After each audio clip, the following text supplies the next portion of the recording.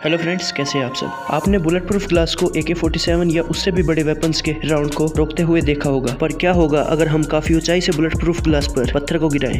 क्या ये ग्लास पत्थर को रोक लेगा या फिर टूट जाएगा? चलिए देखते हैं। आप देख सकते हैं इस पत्थर ने इस तरबूज का क्या हाल किया और अंदाज़ा लगा सकते हैं कि कितने फोर्स से ये पत्थर नीचे गिर रहा है। पत्थर ने तरबूज का क्या हाल किया, ये तो आपने देख ही लिया। चलिए अब चलते हैं इसके असली टेस्ट पर और देखते हैं कि ये बुलेट प्रूफ ग्लास का क्या करता है।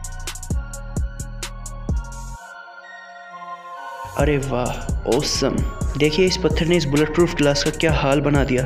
मुझे तो लग रहा था कि जब ये ग्लास इतने ज़्यादा बड़े बड़े वेपन्स का भार सह लेता है तो इस पत्थर को तो आसानी से रोक लेगा, पर ऐसा नहीं है। इसने तो बिल्कुल ही इसे चकनाचूर कर दिया। तो फ्रेंड्स कैसी लगी आपको हमारी ये वीडियो कमेंट करके ज़रूर बताएँ और चैनल को सब्सक्राइब करें।